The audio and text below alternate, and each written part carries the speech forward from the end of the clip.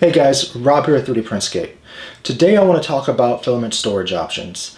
I'm going to go over how I store my filament, when I store the filament, and then kind of why I do what I'm doing with it.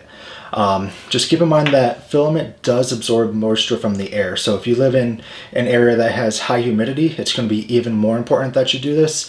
If you live in an area that's pretty dry, you can get away with um, not storing it for longer periods of time.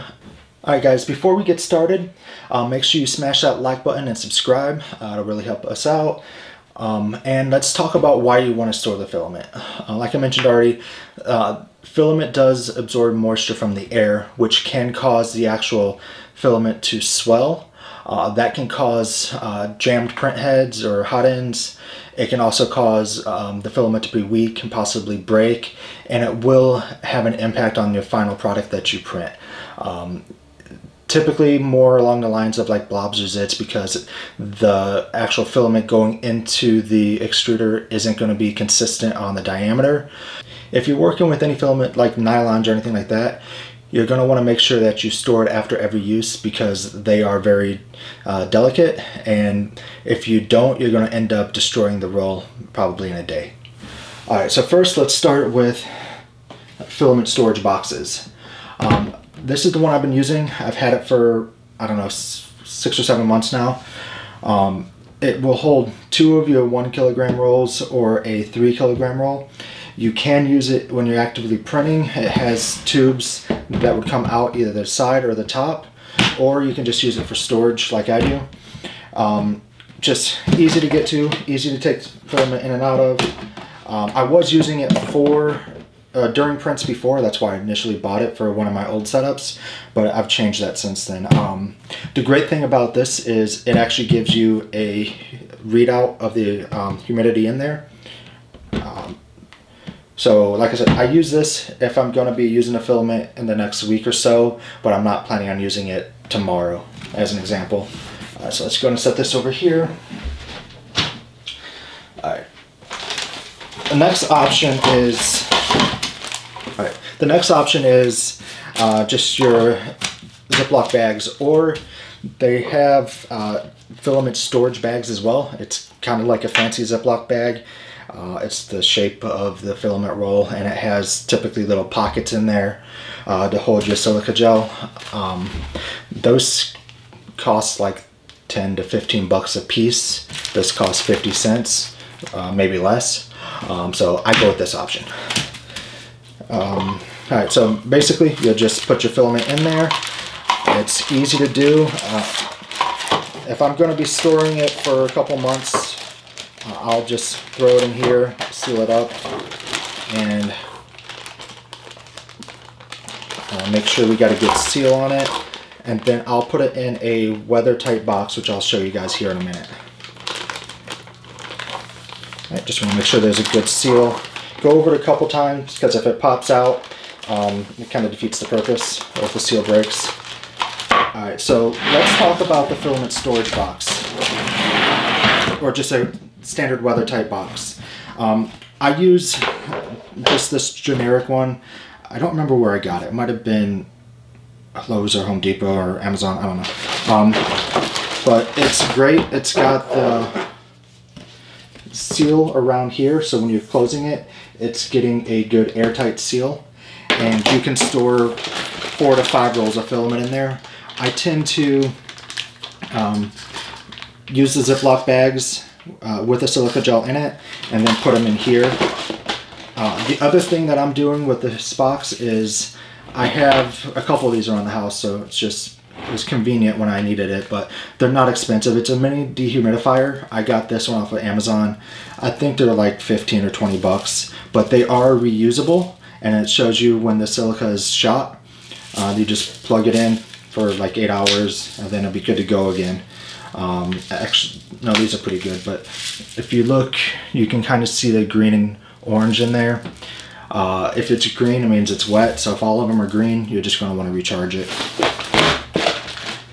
Um, yeah, so I would store all the filament that I'm going to be using in the next couple months in here, and then I'll just keep it closed. Sorry about the noise. Now, another option, which I don't do often, but I have done it in the past, is vacuum seal bags.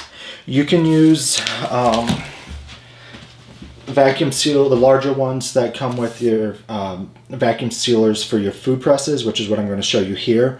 Or you can use the reusable ones that you would actually attach the vacuum to or that have a hand pump and then it just sucks the air out. Um, I have this, so it's just, I probably wouldn't have bought it specifically for this. I would just get a couple of the reusable vacuum bags. Um, but since I already have it, I use it. So with this, you're going to want to do the same thing as a Ziploc bag. Go ahead and put it in there. And fight with the filament. And then add some silica gel. Actually, let me grab that.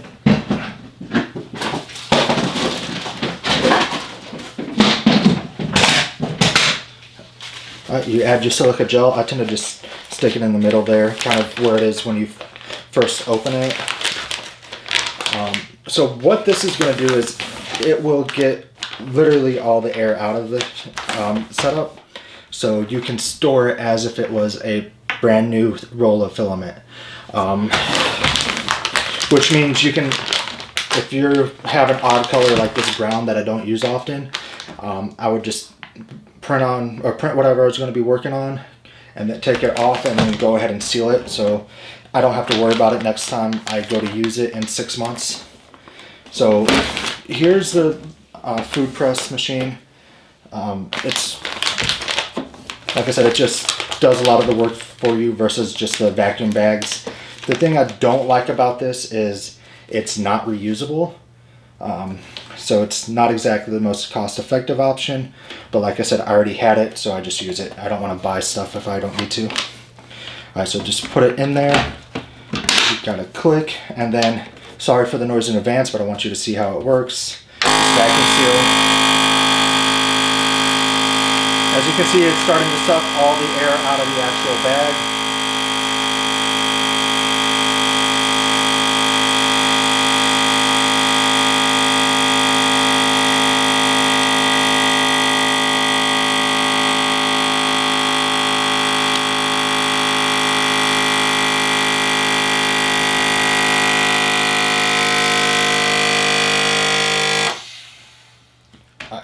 There we go. And again, sorry about the noise.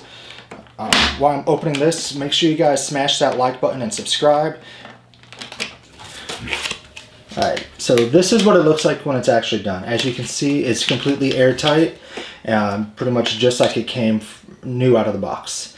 You can store this for extended period of times without having to worry about it. Um, I think they say that PLA filament's good for a couple years in a vacuum sealed bag. So I can come back to this in six months or a year and not have to worry about it and just use it. Uh, it's great for uh, things like this that you don't use often, but I very, very, very rarely actually use something like this. Most of the time I'm going with the Ziploc bags and just using the weather tight box.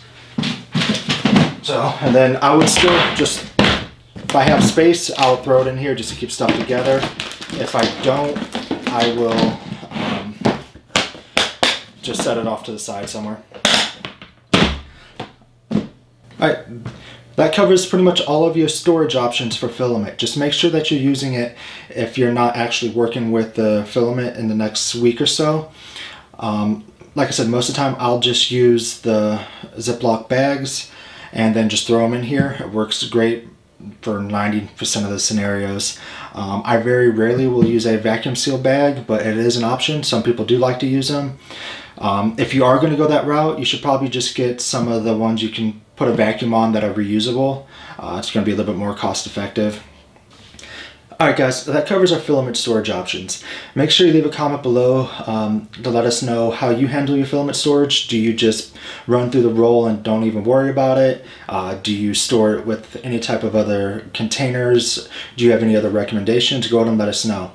Alright, make sure you smash that like button and subscribe, and I'll see you next time. Thanks.